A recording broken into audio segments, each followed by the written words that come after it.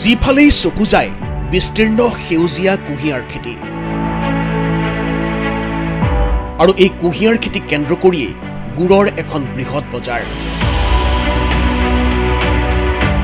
এই যে আপোনাৰো আখলত ভোগালীৰ পিঠা পনা তৈয়াৰ কৰাৰ ব্যস্ততা হয়তো গুড় ইয়াৰ পৰাই আহিছে।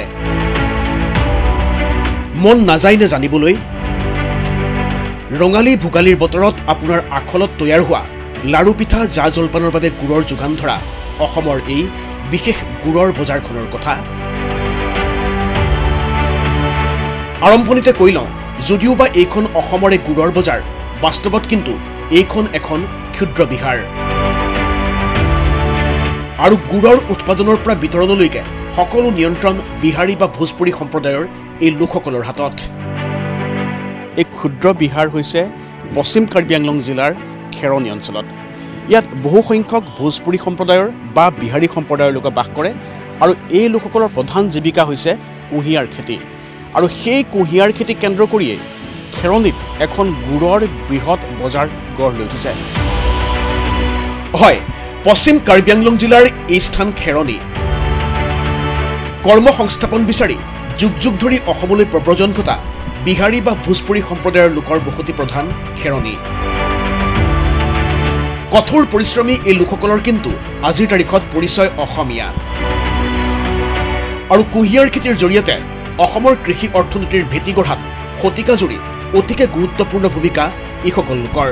আমাৰ চকুতো ধৰা পৰিছে তাৰ বাস্তৱিকতা।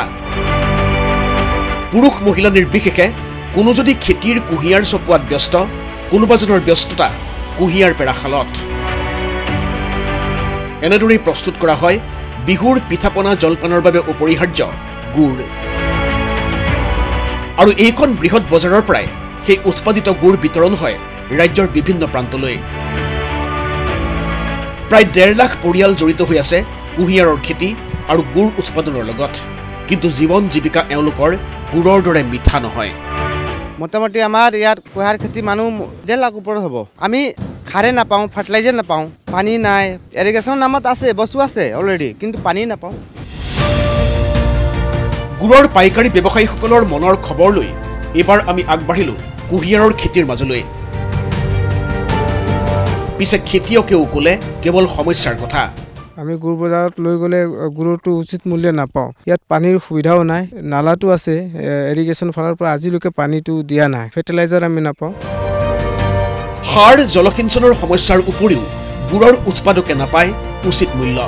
দপদপনি মধ্যভোগীৰ। আমাৰ ইয়াত গুড়ৰ মূল্য হয় প্ৰতি কেজি পঁচিছ টকাকৈ ত্ৰিছ টকা। কিন্তু অন্যান্য জেগাত যালে গুড়ৰ মূল্য হৈ যায় ষাঠি টকা এশ টকা। আমি পাব লাগে ষাঠি টকা পাঁচপন্ন টকা কিন্তু আমি এইটো গুড় মূল্য নাপাওঁ। আৰু পশ্চিম কাৰ্বি আংলঙৰ কুঁহিয়াৰ খেতিয়ক তথা গুড় ব্যৱসায়ীসকলৰ অন্য এটা সমস্যা হৈছে ৰাজ্যৰ বিভিন্ন স্থানত এওঁলোকে উৎপাদন কৰা গুড় লালি গুড় বুলি বদনামী কৰিব খোজে এটা দুষ্ট চক্ৰই। লৈ যাব লালিগুৰি বুলি কৈ দিয়ে। আপৰা চমক কৈ দিয়ে ব্ৰাক বুলি কৈ দিয়ে। এইটো আমি লালি গুড় নহয় আমি নিজে ঘৰে বনাই থাকোঁ। এক টিন গুড় বনাব হ'লে আমাৰ ঘৰৰ সকলো পৰিয়ালটো তাতে লাগিব লাগে। এইবোৰৰ উপৰিও বনৰীয়া হাতীৰ আগ্ৰাসন এটা গুৰুতৰ প্ৰত্যাহ্বান হৈ উঠিছে। এইসকল কুঁহিয়াৰ খেতিয়কৰ সন্মুখত। हाथी के लिए तो मान लो कि हम लोग बहुत गरीब हो गया है जो खेती करते हैं तो वो खाद देती है तो हम लोग क्या करें हम लोग বুজিবলৈ বাকী নাছিল যে গুড়ৰ দৰে মিঠা নহয় এইসকল কুঁহিয়াৰ খেতিয়ক গুড় ব্যৱসায়ীৰ বাস্তৱ জীৱন আৰু সেই তিক্ততাখিনি কিদৰে গুড়ৰ দৰে মিঠা কৰিব পাৰি সেই কথা চিন্তা কৰাৰ বাবেও ভোগালীয়েই উপযুক্ত সময় নহয় জানো অন্যথা কোনে জানে অসমৰ এই বৃহৎ গুড়ৰ বজাৰখনৰ আয়ুসেই বা আৰু কিমান দিনীয়া হ'ব। ভিডিঅ' জাৰ্নেলিষ্ট পুলকেশ পাঠকৰ সৈতে খেৰণিৰ পৰা সঞ্জীৱ প্ৰকাশৰ report N D twenty four.